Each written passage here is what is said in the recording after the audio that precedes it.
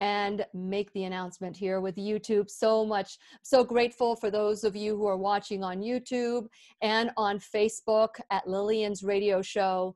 Today, we're going to start something that I haven't done in a while, and we're going to talk about Catholicism, the myths, the dogmas, the all the stuff that that uh, many people just don't know about Catholicism. So today, fasten your seatbelts because we're going to learn and grow together. We're also going to be talking about the giveaway at St. Patrick's Day. How wonderful to have a Catholic friend on St. Patrick's Day. So here we go. It's time to dance. The Lillian McDermott Show. We love, we fear. Bridges we burn. We make mistakes. Then we live and learn gets tough, and it seems like your best ain't good enough. If you're in need of hope, you know where I'll be. I'll be right here, right here. And when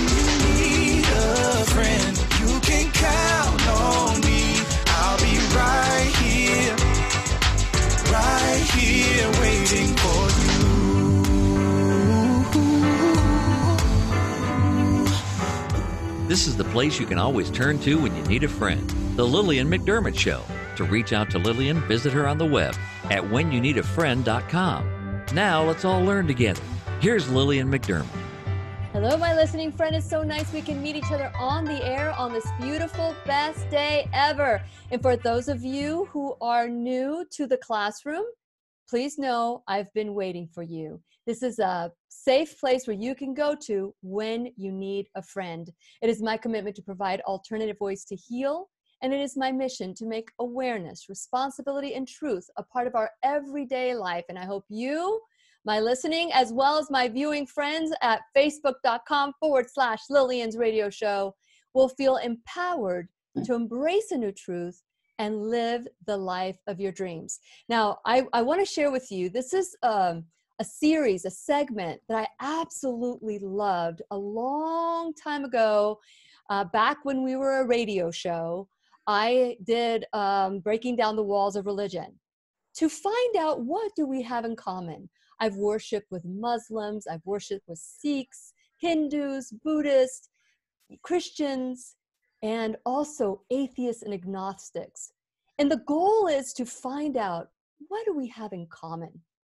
What do we have in common? There's so many things that we are looking at the worst in people, the negative in people, but to find what we have in common. So the only difference in most religions is in, in, is, is the door, is the is the building.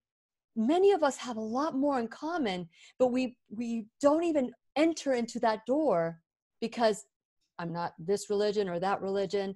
What about just being human? And being believers in something. And so, with that in mind, something happened many, many, a couple years ago, and I was told that I can no longer do uh, on the radio breaking down the walls of religion to find what we have in common. So, since I am not doing radio anymore, I thought, and, and, and I met John just strictly by divine intervention and I and I'm really excited about that because you know John Martignoni has his own talk show on EWTN, and he is it's it's called EW, EWTN Global Catholic Radio Network. So he's been doing this for a long time. And one of the things that we started talking about is, you know, I really have brought in a lot of different religions, but I haven't been able to do one on Catholicism. Well, he turns out to be an apologetic. So he he is. I don't know if I even said that correctly, but I am so excited that it is our sole purpose in life to give and receive love and knowledge. And I am grateful that John Martignoni is here to do just that. Welcome, John, to the classroom. Lily, it's a pleasure to be here with you. Thank you for having me. Yeah. So, how does it feel to be on the other side?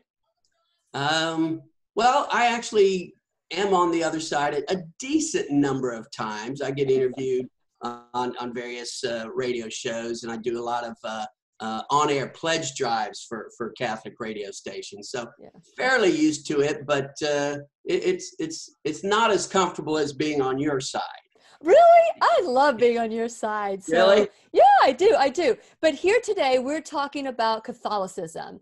And I felt after our conversation that you called me back and we just just started talking about one thing after another two radio show hosts you know just getting together licking our wounds talking it. about yeah having at it and i thought, you know what? I really would love to do breaking down the walls of religion with Catholicism. So share a little bit about your background, John, and what led you to becoming is it an apologist?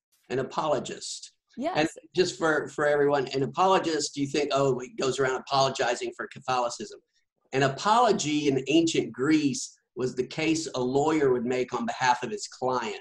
So a, an apologist is someone who makes the case for something. As a Catholic apologist, I make the case for the Catholic Church. A Baptist apologist for the Baptist Church. A Muslim apologist for the for Islam, and so forth and so on. So basically, being an apologist is e- explaining and defending your faith, your position. Um, excuse me.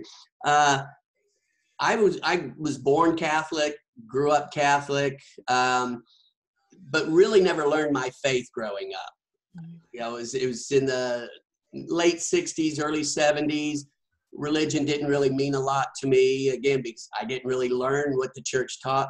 And so I tell people when I went off to college at the University of Alabama, when I stepped onto the campus, I stepped right out of the church. And I was out of the church for 13 years and never went to any other churches. I, I tell people I was a heathen's heathen, um, world class heathen. Uh, and but through a series of coincidences, uh, you know, I, I got my degree in finance, and MBA at Alabama, went into the working world as a, a cost analyst for defense industries, uh, defense companies in Huntsville, Alabama, which is where I grew up, and did that for several years and didn't really like what I was doing, so I thought I'll go back to school. So I went back to school to the University of North Carolina in Chapel Hill to work on a PhD in finance.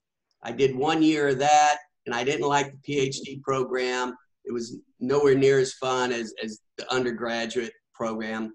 Mhm. But that so that year I, I quit the PhD program after a year, but that's when I came back into the church. I, I had come across a, a book that was just kind of uh, left on a shelf in the office that they randomly assigned me. And the whole book was on the letter of Paul to the Romans. And I read it and was interested and went down to the bookstore on campus and they had all sorts of books in the Christian section. And I didn't know what I was looking for, but I just started picking up books. I got a book by C.S. Lewis called Mere Christianity, a book by St. Augustine, uh, The Confessions, and basically read my way back into the church at the end of that year. Moved back to Alabama. You'll have to excuse me, I've been fighting a little infection. Mhm. Um, and um, got into banking and then into the nonprofit world as a business manager and ended up doing a Catholic apologetic show on the largest evangelical radio station in the state of Alabama uh, because they had played a very anti Catholic program. I called to complain and said, You need to let a Catholic come on to respond to that. And I didn't mean this Catholic, but that's the way that's the way it ended up and, and so that that kind of launched my career in in public apologetics and after i was on the radio for several weeks people start calling and say can you come to my parish and give a talk? Can you come here and give a talk? And i like well yeah i guess i can. And so i started talking and some some of the talks got recorded. Ewtn radio played them and their affiliates on fm and am played them.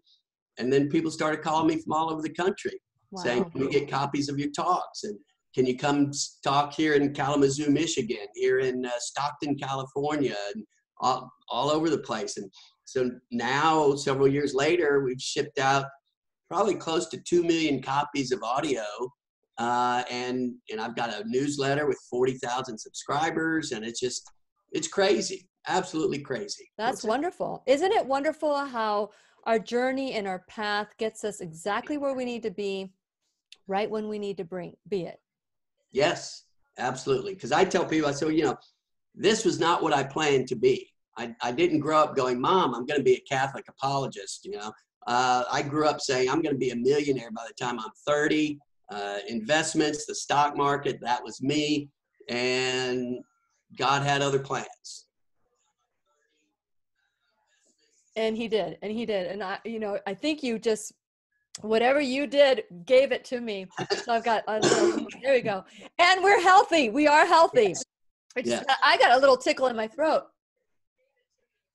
So let's talk about that. Let's talk not about my tickle in my throat. The fact that, you know, you strayed from the church is, you know, and you called yourself a heathen. Yes. And here you are finding yourself back. And it shows you that when the student is ready, the teacher appears. What was it about the letters from Paul to the Romans that spoke to you? Well, I can't really. And the the book that I got was a real thin book, and it was by a Methodist minister who was Chinese. His name was Watch Watchman Nee, and um, can't remember. All I remember is that this was different than any book I'd ever read before. Yeah. And I just remember, I, you know, I'm I'm interested. I want to. It, it wasn't like a, oh my goodness, I have to come back right. It was just this is interesting, and so. Hmm. I I thought I want to get more. And so I went down to the bookstore. And again, this was the student bookstore. It was probably the best stocked Christian section I've ever seen in any bookstore. And um, I just wandered into the Christian section. And here's Mere Christianity by C.S. Lewis, who I had never, at that point in time, had never heard of and had never heard of the book. So I, I just picked it at random. And it's a book on Christian apologetics why you should be Christian, what the Christian faith is all about. Uh, and so I read that and got a couple more C.S. Lewis books. And like I said, I said, I'm kind of tired of him and just wandered in and, well, this St. Augustine. Well, I've, I've heard of him as a Catholic, but didn't really know anything about him. So I read that. And then, then there was a book on the love of God by St. Francis de Sales. And so it was just over the course of a year, I was reading more books on spirituality and the Catholic faith than I was on economics and finance, which is one reason why I left the program. But uh, um, at the end of the year, I just I made a decision. I said, "Well, do you believe this or not? And if you do, you have to do something about it." And I said, "Yes, I do." So that's when I went back. You know, I went to the uh, the priest on campus and said, "Father, I want to go to confession." It's been Wow. 15 years or whatever it was since I'd been to confession. So that's what started me back. Now, do you find yourself having to um, defend the Catholic Church, or are you okay with people having a difference of opinion? What I tell people is if you don't want to believe what I believe, that's fine. But don't believe, but, but di- if you want to disagree with what I believe, fine. But disagree with what I actually believe, not with some made up thing or half truth or, or misperception or misunderstanding, mm-hmm. which as a Catholic, there are many, many, many of those misunderstandings and half truths and misper- misperceptions out there. So let's talk about those. So let's talk about the beliefs. What would you say are the top, whatever you think, these are the ones that are most important as a Catholic? And of course, there's dogmas, there's doctrines, there's uh, um, the practice of Catholicism and the rituals of Catholicism. And I want to disclose I grew up Catholic my entire life. And as I got older, I think the opposite happened to me. I became curious about world religion. I became curious about what do I have in common as a Catholic with a Buddhist? What do I have in common w- with a Muslim as a you know as a Catholic? And so those things made me see that we truly are one. We are one. And I and I when I when I talk about breaking down the walls of religion, it's so that we can focus on being that one. We're all children of God, all. And so, with that in mind, let's talk about the belief uh, of the Catholic Church that you feel is most important for people to understand? Well, the, the number one belief is e- everything about the Catholic Church is designed to get a person to heaven. Uh, if you come to a Catholic Mass, the worship service, if you will, you will notice not just that we're praying, but we're standing, we're sitting, we're kneeling, we get up and go to communion. So our bodies are involved as well as our souls, our mind, our intellect. So for the Catholic Church, everything about Catholicism is designed to move you physically, spiritually, emotionally, mentally to Jesus Christ, hmm to salvation. Who, you know, for us, Jesus Christ is the Word of God, He is salvation for us. And so everything about the Catholic Church is designed to get you to God, to spend eternity in heaven with God, um, Father, Son, and Holy Spirit. That's what the whole whole religion is all about. And do you do you feel that other religions don't do that, or do you feel that the Catholic Church does it as well? Well, what I say to people is, um, truth is a big thing for me. As I, it really is for everyone. Although there are people out there say, "Well, your truth is good for you, my truth is good," and like, well, truth cannot conflict with truth. So uh, relativism is not. I'm not big on. But I tell people, I say, look, I believe the Catholic Church is true, and because I believe it's true, I want everyone else to believe it's true as well. Mhm. So I will talk to you, to you, to you, to whoever about the truths of the Catholic faith. And if someone says, Well, I'm Baptist, so am I going to hell? I say, I don't condemn anybody to hell. Mhm. What I say is, uh, what I ask the Baptist, I say, Do you believe what you, what your church teaches is true? And they'll say yes. I say, Well, then now I can deal with you because we can disagree. You know, you can say, This is what I believe is true, and Mhm. and this is what I believe is true. And where they contradict each other, well, at least one of us is wrong. Okay, let's talk about it. I have no problem somebody telling me, John, you're wrong. Because I'm going to tell somebody else, well, I believe you're wrong. Okay, let's talk about it.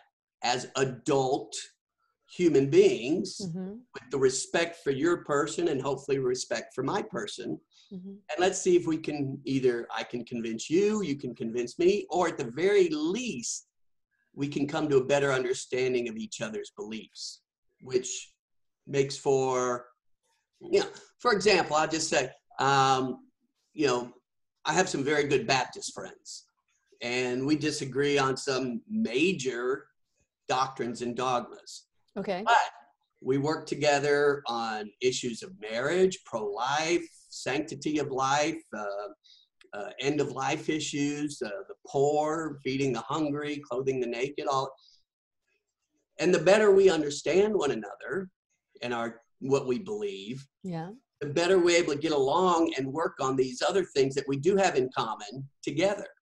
So you, yeah, that's wonderful. So that's so again, I, I, I am more than happy to tell somebody I think you're wrong on that, and hopefully they would say, well, and this is what I teach my kids. I said, look, if somebody says something to you that's negative towards you, excuse me, negative towards you, what should you do? Should you automatically respond in anger?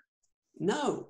What you should do is take what they say and evaluate it hmm you know, if they say, well, you know, you're always making these smart aleck remarks and it really makes people upset, you should think to yourself, do I do that? Am I making smart aleck remarks and am I making people upset? And if so, maybe I want to rethink what I do. Or you could say, well, no, I've thought about it and they, they don't know what they're talking about. I don't really do. I might have done it once or twice here, but not on a regular. So I'll go back and say, I disagree with you. I don't do that. So you evaluate, you don't get upset. I always tell people when I'm teaching Catholics how to explain and defend their faith, I always tell them, do not get angry. Even mm-hmm. if someone is has a vicious attack on your faith and they're saying, oh, all Catholics are going to hell and this is view that as an opportunity to start a dialogue. Oh, well, why do you think I'm going to hell? Yeah. You know, and maybe I am going to hell. Who knows? You know, it's not up that decision not up to me even. So let's talk about it. Why you're why are you saying that? Well, here's where I disagree. Here's where I agree. You know, and I tell people all the time, because of what I do, I've been called all sorts of names by all sorts of people. And they say, Well, how do you handle that? I say, Well, generally I, I agree with them. John, you're a blankety blank blank. Well, yeah, I have to agree with you there. You know, it, you're not going to get me upset. You are not going to ruffle my feathers because what am I? What's my purpose? My purpose is to share truth with you, and hopefully your purpose is to share truth with me, and together we can, you know, come to a better understanding of one another. I love it. I love it. But here's the thing I believe that you can't argue facts. But when it comes to religion and politics, which are two different, you know, like I don't talk sports, I don't talk politics in the classroom. But, you know, I do talk about spirituality, I do embrace religion. Um, you know, some people, religion is their religion is their religion and it's you know being there the act of being there. It may just be about the works. And may not be about the faith. It may be about and that's their own thing. That's their own judgment. That's their own it's not for me to decide why they go to church. But i will say that everybody feels that they have the truth. Everybody feels that they have the fact. And so um, you, if you cannot argue your truth or your fact and my fact or my belief whatever it is doesn't it make sense to have a conversation about it and to get to know I don't need to convince you and you don't need to convince me. But how about let's just have a conversation of what we do believe. And if you don't buy into it, that's fine too. But at least you had that conversation and you get to know each other a little bit better. I mean, to me that that's what makes sense for me. Does that does that make sense? Yeah, it does. And what I tell people, I say, look, um, there are spiritual facts, spiritual laws, just like there are physical facts, physical laws. hmm And so if you say, um, you know, like what I tell, I said, you can't argue emotions. Okay. If I feel this, well, I can't tell you you don't feel that. Correct. I can't do that. And I'm not going to do that. Well, Yeah. but that's that's what starts the argument. No, you don't, John. No, you don't. Exactly. Well, I tell the, the most common one I get people. There's uh, one of the biggest misperceptions about Catholics is that we worship Mary. Yes. Yes. I have had people tell me, "Well, you Catholics worship Mary," and I say, "No, we honor Mary. We love Mary. We imitate. You know, we are called to imitate Christ. She was Jesus's mother. Very important person, right? I would Yeah. say. He loved Mary." And so, if we're imitating him, we should love Mary too and honor her as he honor, you know, honor thy father and thy mother. No, you worship her. No, I don't. Yes, you do.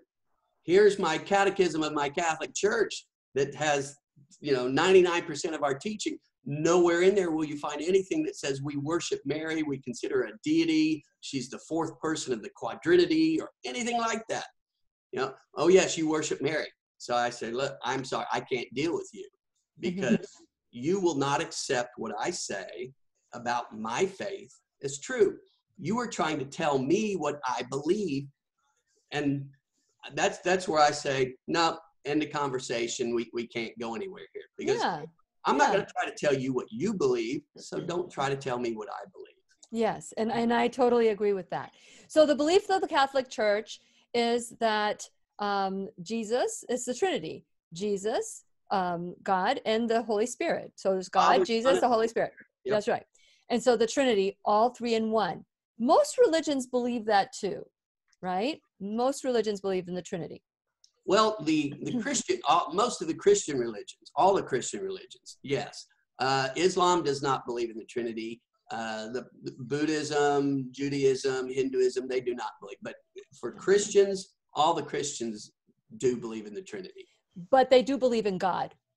So Yes. it, it okay. so here's here's where I, I try to find commonality right and it's not to convince people to be a catholic or to not be a catholic what i listen to and what i translate in my head is god. Like i interviewed um, abinash Dwivedi, who is absolutely the most wonderful man and he is hindu.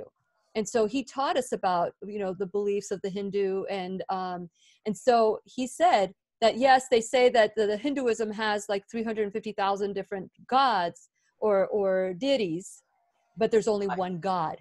And so the way he explained it to me was that there were many pictures of your mother, let's say, for example, or there are many pictures of your father or yourself, but there are different phases of your life. And that ultimately it's the same person, but it's how you perceive that person, how you see that person. And to me, the fact that they believe in God, and if we're saying that the Holy Spirit, um, God the Father, and Jesus are the same thing, then we could translate it in our head that they believe at least in God, which is part of what we believe in. Right. Know. Well, in, in the Catholic faith, what we say is there you can find truth in pretty much all religions. Okay there is truth in Hinduism, there is truth in Buddhism, Islam, Judaism, etc. Uh, for a Catholic Christian, there is truth in the Baptist religion, in the um, Episcopal, Methodist, Evangelical, etc. What we say as Catholics is that we believe we have the fullness of the truth. And if I didn't believe that, well, then that means the fullness of truth is out there somewhere, and I should go be something else. And I would, and that's what I say about Buddhists, about uh, Hindus. About if they don't believe they have the fullness of the truth in their religion, well, then they should go looking for the religion that does have the fullness of the truth. Yeah, yeah, and I think, and, and I think that's beautiful. It's a, it's a beautiful thing to be wherever you feel closest to God and and feel your spirit felt felt um, filled is is so important. For me, many years it's been the Catholic Church and uh, and so but there there comes a time where your spirituality and your religion stop start getting out of balance what would you say the catholic church believes as far as religion versus spirituality well catholic church would say you really uh, can't have a um, a full spirituality if you don't have the fullness of the religion because uh, primarily because of the sacraments. You know, the, the seven sacraments of the Catholic Church, the, the, the source and the summit, the most important one being obviously, well, after, after baptism, which is the uh, initial and entry point into the faith, into union with Christ, then the Eucharist, which we believe is the actual body, blood, soul, and divinity of Jesus Christ. And so the when you receive the Eucharist, it's analogous, or, or I guess what what occurs between husband and wife, physical union, is analogous to what occurs between a, a, person when they and, and Christ when they receive when that person receives the Eucharist. It's the two become one. And so in the Eucharist, your your spiritual your spirituality is is fed, it's nourished, you receive incredible grace from God and, and the same with the other sacraments, but again, predominantly the Eucharist.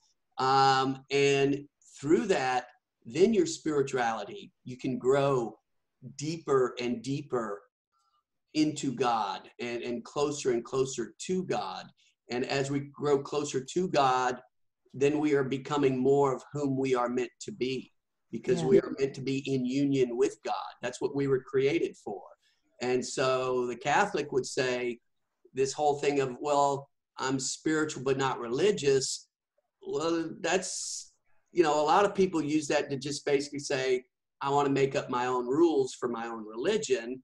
You know i, I have some idea of god but i want to do god the way i want to do god. Yeah. Whereas the catholic church says no we have a religion that was founded by god and he kind of showed us the way. And if the analogy I like to make is do you do you play any musical instruments, a guitar or anything? Well, I I dabble in the piano and I sing. Okay, I mean, piano. Oh, and I play a mean tambourine. Oh, okay. Well, I can play on the piano, I can play Silent Night left-handed. That's the only thing I can do musically. Um, so, but here's the thing: if you want to play the piano, and you say, "I don't care about the rules of the piano," I don't care about uh, you know rules and regulations of piano. I'm going to play the piano the way I want to play the piano, and you get on there and just start banging on the keys. It, it, it's it's just noise. But if you say if you learn the rules, the keys, the chords, how okay with the you know piano, you the foot pedals with the you know then if you know the rules and regulations of the piano, you can make beautiful music. Well, as human beings, what we say as Catholics is that we as human beings, God made us with certain rules and regulations mm-hmm. as part of our nature. And if we learn those rules and regulations and we abide by them, then we can truly flourish as human beings and maximize our potential as human beings, both physically and spiritually, mentally and emotionally but we've got to follow those rules. Mm-hmm. If we don't follow those rules, then we're going to run into problems physical problems, mental, emotional, spiritual problems. So that's why, you know, we say, well, God who made us has now founded this church and set up these rules and regulations within this church. Come and see what it's all about and see if you don't maximize who you are as a human being through this through through the rules the regulation the sacraments of mm-hmm. the church. And the sacraments let's really quickly let's talk about the baptism and eucharist and com- confession communion. Go ahead. Seven sacraments. Yeah. Uh, baptism is the sacrament of initiation because what we say to people is it is through baptism that you become a member of the body of christ that you receive the Holy Spirit. It's an absolute free gift of God. And the way we prove that, if you will, is that we baptize babies. Babies can't have faith, babies can't do any works. Yet, through baptism, which is a, a work of God through the priest, it, it's God doing it, um, you receive incredible grace and you become, you know, in union, in covenant with God. Then after baptism, you have uh, uh, the next two sacraments, confession and, and the Eucharist. Well, usually in the Catholic Church, when you're around second grade, eight, nine years old, you're taught about sin and how you go to the priest to confess your sins, and the priest, using the authority of Christ, absolves you of those sins. It's Jesus doing it through the priest, just as some people are given the gift of healing physically it's it's not their power, it's God's power. Mm-hmm. God uses them as an instrument. The priests are given the power to heal people spiritually. God's power, the priest is the instrument. Excuse me. And so uh, confession and then receiving the Eucharist, as I was just talking about, receiving Christ, body, blood, soul, and divinity under the appearance of bread and wine. Mm-hmm. And we say incredible graces are received through those sacraments. Uh, the other sacrament is, is um, confirmation, which is kind of a, a, you know, your, your introduction to Christian adulthood. You're, you're confirmed in the Holy Spirit. You're given an extra boost of grace, if you will, for, for lack of a better analogy. Uh, then there's marriage, which for many people, not for all, you, you, you are married, you know, you and your spouse marry mm-hmm. each other. Through that, you receive grace. There's the sacrament of holy orders, which is for the priesthood, for the deacons, the bishops, and then uh, the sacrament of the anointing of the sick, uh, which we find in James chapter 5. Call for the elders, the presbyters, if someone is sick among you, and anoint them with oil. And again, through that, you're receiving grace from God for healing physically, hopefully, but more importantly, healing spiritually. Beautiful, beautiful. Okay, so with that in mind, um, one of the things, one of the issues, John, that I always had um, a problem with, and and it's maybe because of just me, um, I always had a problem with com- confession. And confession was something that didn't make sense to me in the Catholic Church. And the reason why is because I believe I had that power too to heal I don't know where that came from, but it was planted in me from the moment I was born. That the, the, you know that I had that power, and you know when we do the classroom, we talk about how we can heal ourselves through forgiveness. We can heal ourselves through healing our you know forgiveness of past life traumas or past traumas, or that we can heal. So having a priest say your sins are forgiven to me was not it didn't make sense to me because I know that when Jesus breathed his the Holy Spirit into the disciples when they were in the back room scared, he said, You will do this and more. And I took that seriously. And so this and more meant I can do this too. I, am not a priest, but I know that God forgives me. So what do you what do you say for something like that for someone who who maybe has an issue with confession or has an issue with utilizing that middleman to negotiate the deal? And then a lot of people do have an issue with that. So uh, here's the thing: I can tell you, when I was out of the church for 13 years, like I said, a heathen's heathen. I, I, I tell people, I say, you name a commandment, one of the ten, I broke every commandment multiple times. And people say, well, wait, one of them is thou shalt not kill. Did you kill somebody? Well, I said, no. But in the Bible, it says if you're angry and hate yes. your brother, it's the same as killing. It's, a, it's you have murdered them in your heart. Correct. Correct. So, um, Our thoughts uh, are so powerful, John. Yes. And that, that makes so much sense to me because thoughts are powerful, that powerful. And so what I would do is I still had a sense of God every so often, especially if I would buy a lottery ticket. God, let, this, you know, let this be the winning number. You know, so exactly. Uh, and, and so, but so I, I, would do something that my conscience was telling me that's wrong. You shouldn't have done that. Mm-hmm. So I would say, okay, uh, God, I'm sorry. Forgive me. And then the next day I'd think about it again. I said, well, did God hear me? You know, I mean, well, yeah, I probably heard because God's every, but did he forgive me? That's what I would, did he, so I would confess it over and over and over again. And when I came back into the church and I went to confession with a priest for the first time after at least 13 years, probably 14 or 15 years, I came out there crying, literally tears come because I heard the voice of Jesus Christ through the priest say, I absolve you of your sins. Mm-hmm. And I mm-hmm. knew I was forgiven. Confession is a very, I mean, from a psychological standpoint, God knows what he's doing when it comes to human beings and the mm. sacrament of confession because what do we we need affirmation as human beings. You know you can look in the mirror and say to yourself i'm great i'm wonderful all you want but you're not going to believe it as much as if somebody else tells you you are great and wonderful. You get that affirmation from someone else. So from the priest, we get God forgiving us, which is the vertical aspect of the of the sacrament, but also the horizontal aspect. The priest, on behalf of the church, is forgiving us.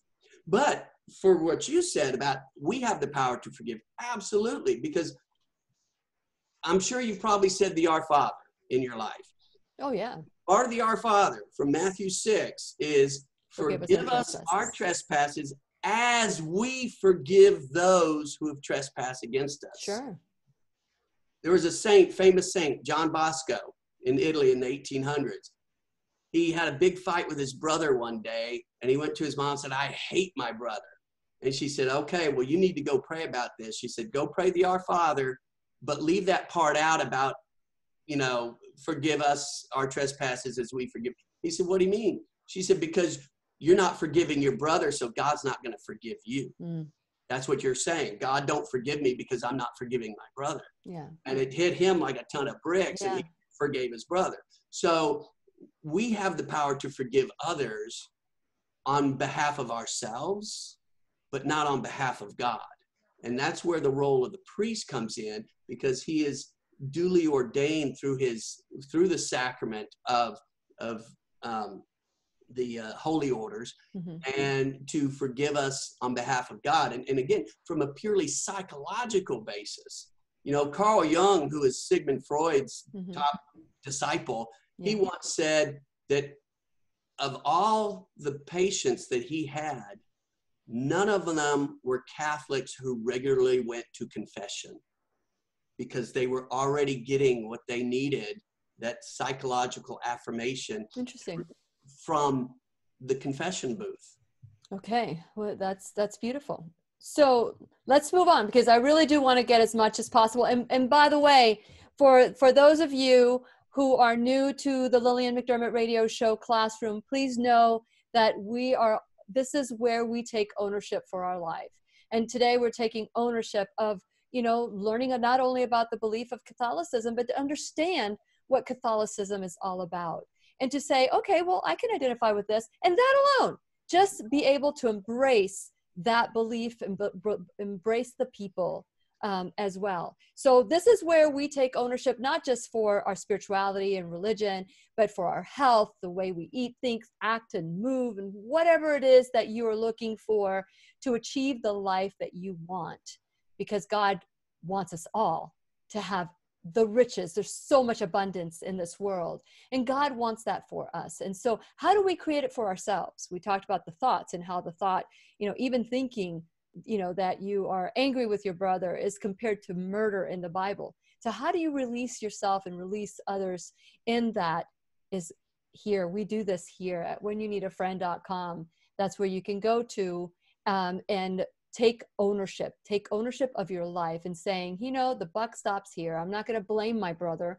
I am going to fix it. I am the solution not the if i continue to focus on the problem i will always be the problem. So this is where we take ownership for our life and we learn from different teachers. Today we're learning from john martignoni and we're learning about the catholic church by breaking down the wall of religion. But we do have other conversations. So while you're at whenyouneedafriend.com, please subscribe, be a part of the tribe, and um, follow us and like us on Facebook and YouTube and, um, and social media, podcasts. We're everywhere. I'm just so excited about this. And the classroom is growing every day. People are thirsty for this kind of empowerment because we're we find ourselves blaming others for who we are. So, this is where we take ownership for our lives. And I ask you to, while you're there, make sure you check onto my um, sponsors page because without my sponsors, there'd be no classroom. So, sponsors like Liberty Health Share, Keep Me Safe Organics, beauty products, all organic um, and pesticide free. And so, chemical free, this is where we take our health back as well. Um, we if all, let me talk to you about if you are concerned about going to the doctor or going out there and you're not feeling well, especially with the coronavirus, uh, COVID 19, uh, first alternative care. You can help the whole family with telemedicine for non urgent family practice, uh, dermatology, and three hours a year behavioral health counseling, as, as well as a portal for the entire household. And the household can be you know whoever's living in your home it doesn't have to be a family it could be anyone who's in your home for just $45 a month. And if there's ever a time that the, the uh, first alternative care just go on to my sponsors page. For $45 a month you have 24 7 someone that will call you if you're feeling sick they can even prescribe. And that way you don't even have to go to the doctor. You can have the pharmacy send it to you that way you can continue to stay safe and not spread any germs. Uh, Dr. Stephen Grable, who's holistic functional alternative in Jacksonville, Florida. We have um, the pharmacy in Merritt Island, who is just phenomenal. Um, just check them out. They're in Merritt Island. Live Longer Medical, who's helping the inside look as good as the outside. Ground Therapy, Brain Tap, who we're always taking. We're, we're bringing the earth back in and rewriting the program of all those negative thoughts that go through our mind. And so support the, the uh, sponsors the way that they are supporting the classroom. And finally, you can become an enrolled student in the classroom. So check out how you can support us time, talent, and treasure. That comes from being a Catholic and raising so much money for the Catholic Church. Time, talent, and treasure has been a part of who we are and what we do and how we continue to allow the classroom of church, the classroom of our life to grow. So please remember, uh, when you need a friend.com is where you can always follow us and you can always join the classroom at Lillian's radio show on facebook.com. So, with that in mind, I'm grateful to John. I want to do, I want you to know that you can find out more information from John. Go to Bible Christi- uh, Christianity. No, no, no. But, okay, hold on a second. Let me let me get this right. I had it written. I wrote it down.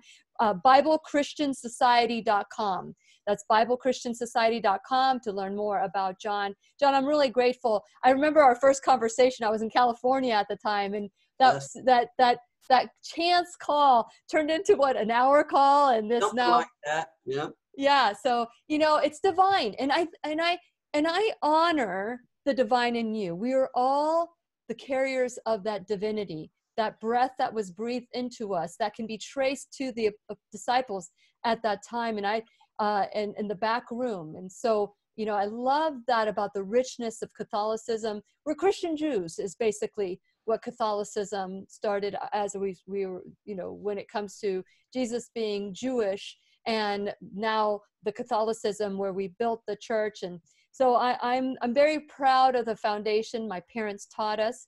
And so I want to thank you for continuing that torch, John, with so many that need to under, understand the myths about any religion, let alone Catholicism. So thank you so much for what you do.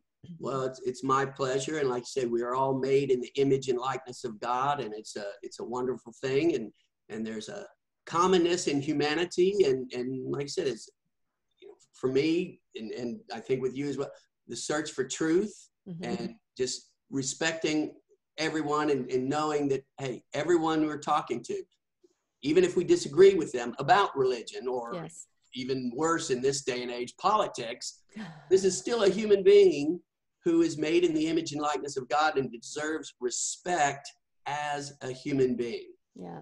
So just the fact that they are alive, they deserve that respect. So I, I appreciate what you're doing, and, and again, I appreciate you having me on this on your program here. It's, it's yes, it's- I love it. I, and you know what? I have a feeling that we're going to have more conversations because there's so much that we haven't even dipped the toe on. Um, I do want to uh, remind all of you that uh, today we're giving away uh, a ground therapy pad, a mat, which helps bring the Earth's frequency right into your house.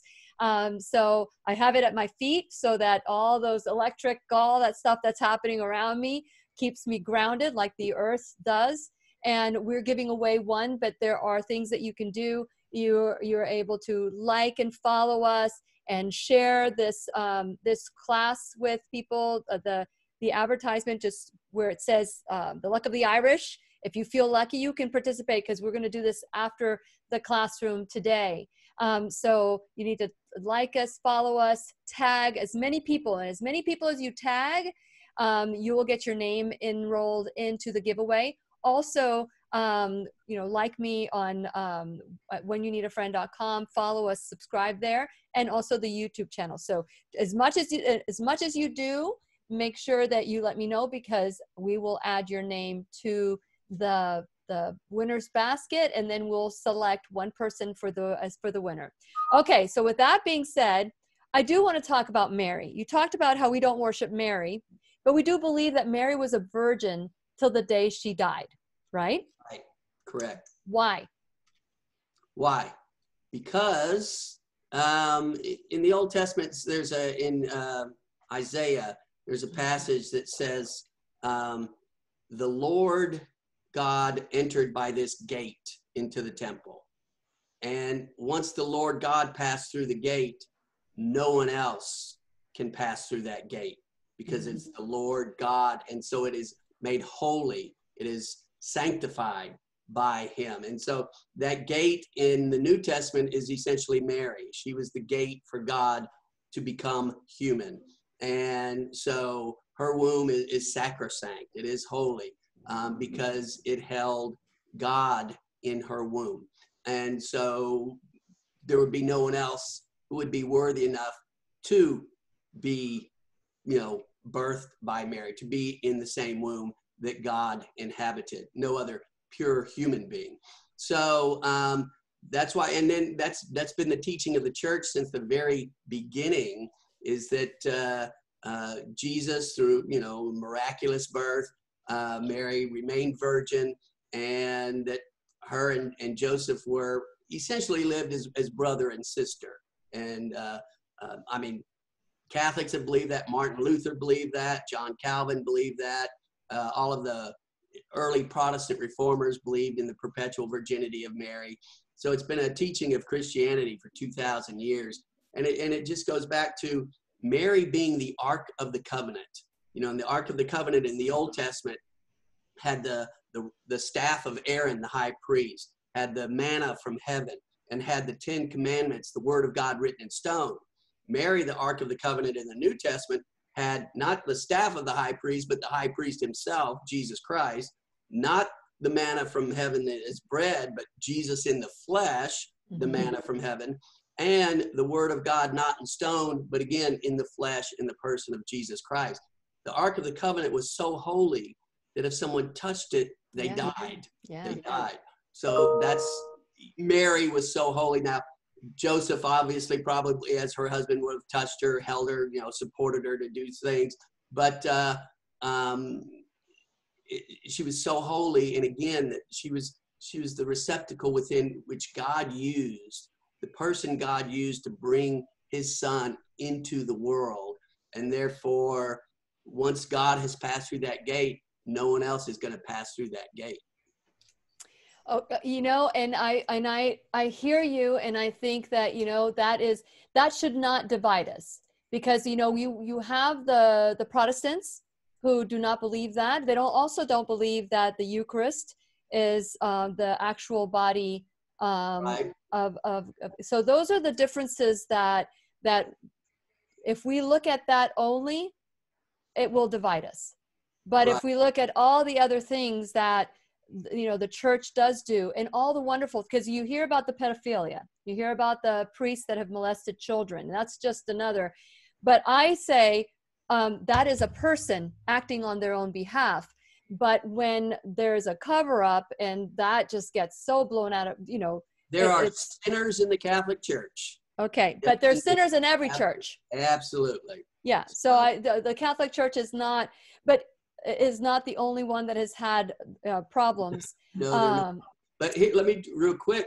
Yeah. Mary divides Catholics and Protestant, but it, actually Mary is a uniting point for Catholic and Muslim because Mary is very. She is the most revered woman in Islam, and Miriam is the most common female name in Islam. I've been told. I haven't done any research, but I've had people tell me. sounds good So- So it's it, you know Our Lady of Fatima. Fatima was Muhammad's favorite daughter, and that's it's there. So there are connections with Mary between Catholics and Islam. It's Mhm. fascinating. You know, it's it's real quick. I I, I want because we only have five minutes, and I just want to, you know, we we have different forms of this class that's going to be uh, broadcast all over the world, which is of course on podcast.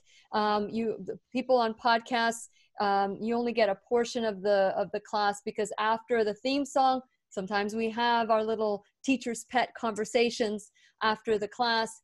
Um, so there's so many different ways that you can learn a little bit more than the one hour limitation that we have when we're doing the class. So I want to encourage you to go to um, to follow us to join us live because for those of you who are joining us live, you're always uh, welcome to ask a question. So if you have any questions, please type in a Q and we'll read the question um, before we end the class today. So please help us grow the classroom. And I want to say thank you to Kevin. But you're paying, praying for the success of this program, and I am so grateful to you for that. Um, and Robin, thank you for joining us. Very loving of you, John. Um, uh, from Robin, she says, "I listened to John on the Catholic radio. Awesome show." So you know, we we do have to come together. We do need to unite as one. And um, but one of the things I wanted to ask you is interesting. What is the Catholic Church doing now with the scare with the the highly sensitive uh, coronavirus? Uh, we just received a, an email because I I've interviewed so many different pastors and I have so many different religions. We just received an email saying that this um, church over in Merritt Island, Georgiana Church, they're canceling all their services. What is the Catholic doing to? Because I remember they uh, there was one time that we weren't doing commu- uh, communion. well, they're they're not. They've basically not doing communion under both species, so not Both from the species. cup. Um, also, there's a sign of peace during the mass where You people do the elbow. hands. They don't. They're they're basically they're dropping the sign of peace, and many many places masses are being canceled altogether. For the time Yeah. Well, this is a time to come together. Time to come together and pray. We're going to continue our conversation for a little bit after we say goodbye to the podcast. And so, John, thank you so much for My sharing. pleasure, We only dipped our toe in I know, just a Catholicism, didn't we? You're Yeah. getting back. You're going to be invited back. Thank you so much, John. And for those of you who are joining us today, please continue to stay tuned because we are all one. We are one, and let's look at our what we have in common.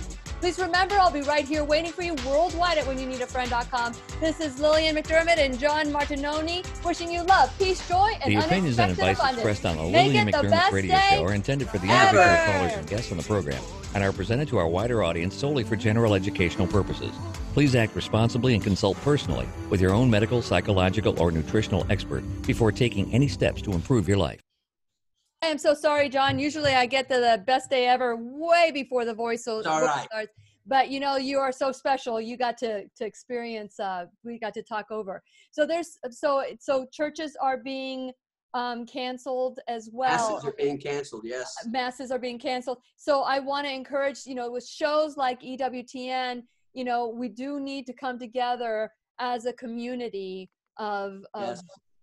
of children of God. We're all kings and queens and heirs of the Well, throne. This is a time that much prayer is required. Yeah. So people need to be hitting their knees and and praying to God that you know for this uh, this pestilence that is going across the land and and uh, that it be lifted and that as few people as possible be affected by it because it, this has the potential to be devastating, absolutely devastating. Well, I um, yeah, uh, there's there's um that could happen with anything and I just want to encourage Yes. people where whether it's the flu or it's a cold or it's anything that you might think it's contagious or if you've been exposed, please be respectful of your brother and sister, your neighbor, your friend, especially those that are most vulnerable.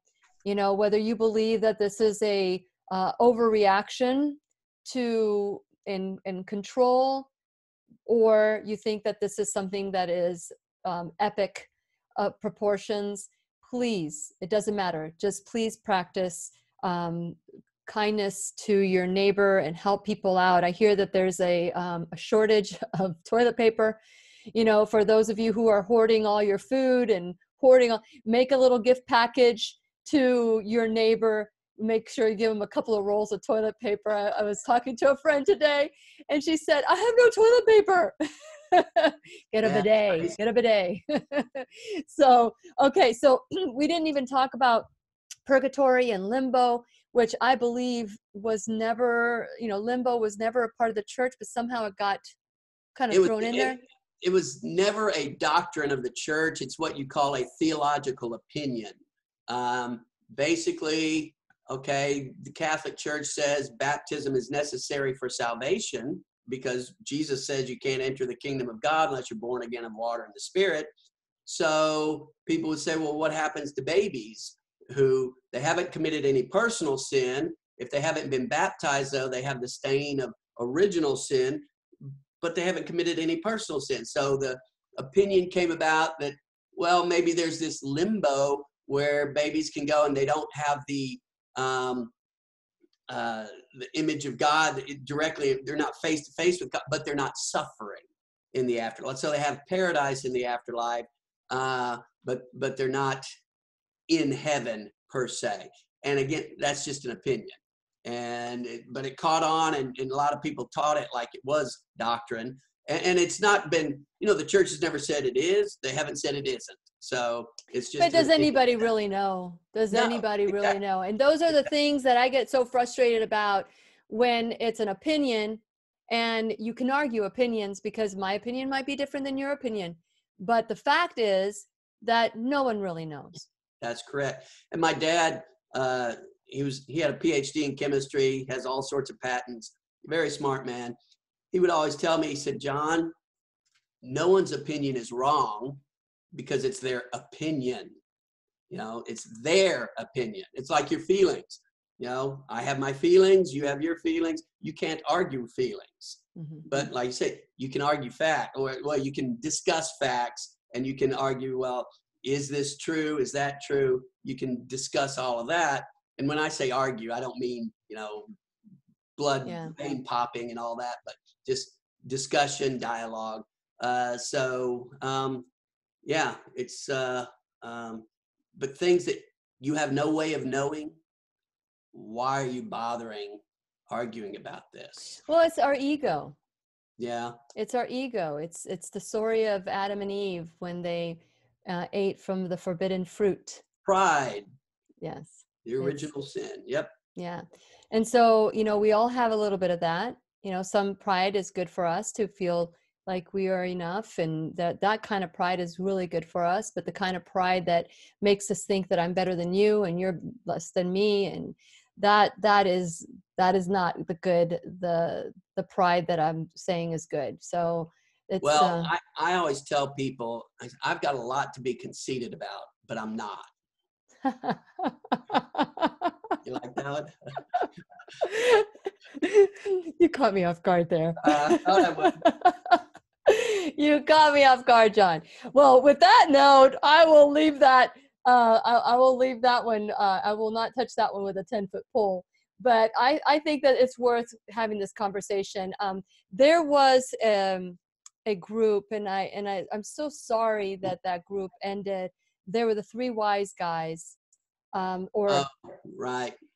and both the imam and the the um, the rabbi, Yeah. and of course the um, Methodists committed such a horrible, horrible crime that it ended that dialogue.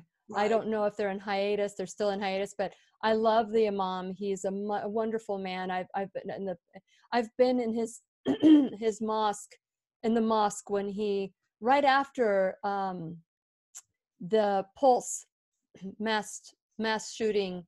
I was Oh. there Okay. yeah and i got to see and got to learn why they do certain things a certain way instead of my own judgments you know?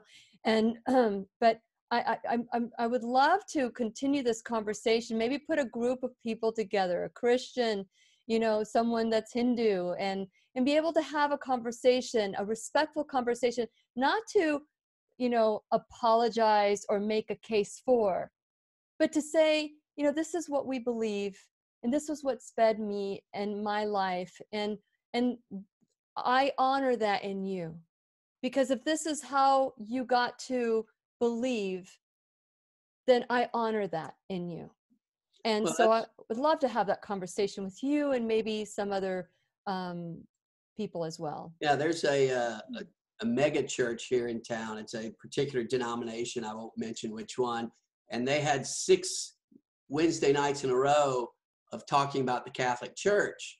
And there were Catholics who were married to members of this church. Who, the Catholics would go to Mass Saturday night and go to this church Sunday morning with their spouse. And they were so upset by they went to this thing thinking, okay, we're going to learn about the Catholic Church versus the bat. Well, I also anyway, um, versus this other church, and uh, they they just totally gave wrong information about the Catholic Church. yeah And so I went to the last presentation after I'd been told about this. And I went up to the pastor afterwards. I said, Look, I said, I appreciate the spirit in which you did this because the concern was for the souls of Catholics. I'm like, I appreciate people being concerned about my soul. Uh, and but I told him, I said, you got about 75% of what you said about the Catholic Church was wrong. I said, Mhm. sometimes a little bit, but sometimes a lot yeah. And we proceeded to have a dialogue for about 10 15 minutes and there are people hanging around after the talk and they were fascinated by us going back. And forth and i told them i said would you want to do something public like this?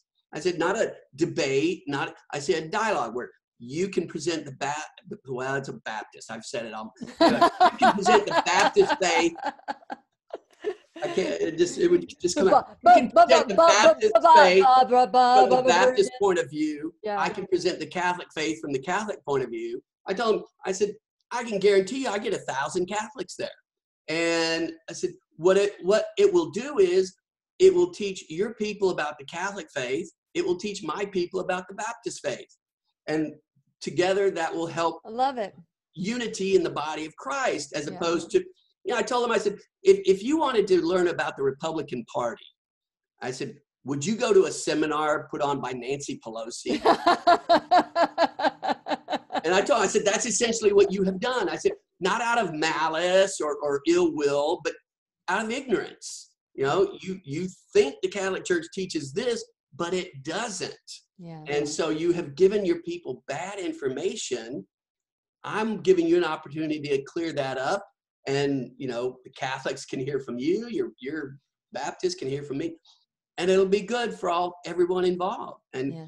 he wouldn't do it. And Oh, like, okay, well, maybe we can do it here.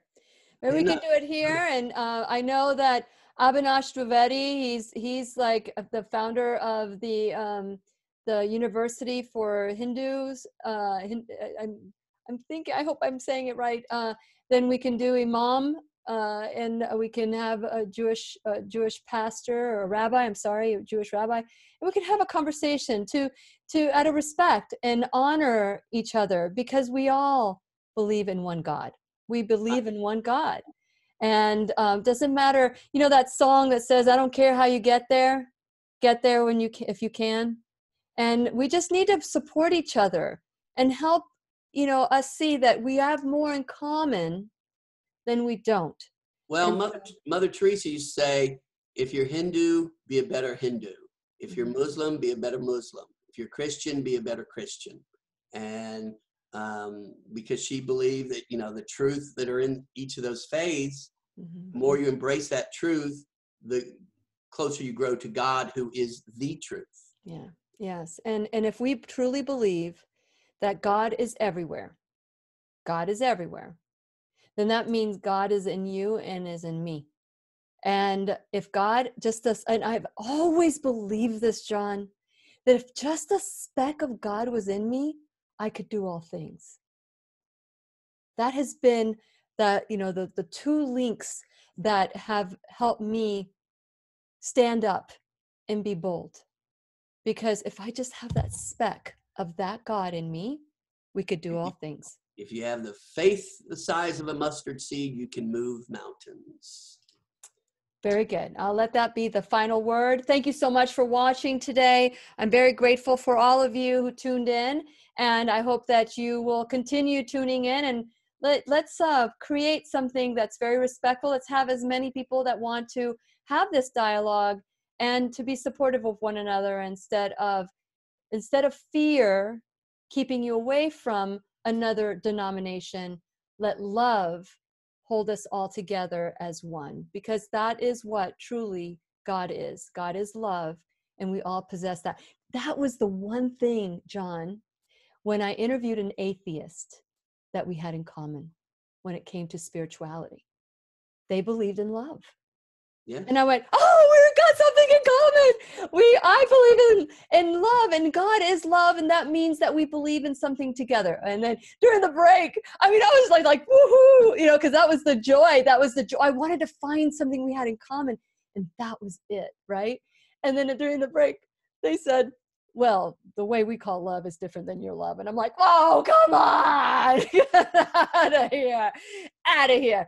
Anyway, um, just just know that we are all love. If, anything good, all good things come from love. Fear, nothing good comes from fear. And so whether it's you know being you know walking into another church or having a neighbor that believes differently than you, just know that the one thing you could have in common is love because God is the creator of all God is the creator of all, and if that if that's what we have in common, then I think that's good enough. What do you think, John?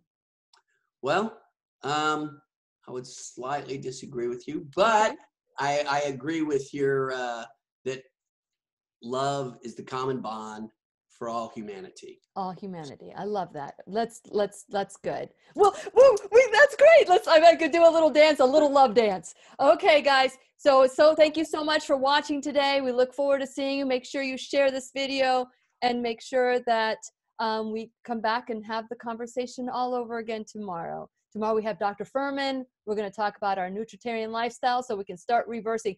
Actually, it's going to be about weight loss and um, what we can do to actually release those pounds that um, you want to get rid of. So we'll talk soon. We'll talk to you later. We'll we'll um, let me say goodbye on Facebook. Here we go. Say goodbye, John. Bye, everybody. And on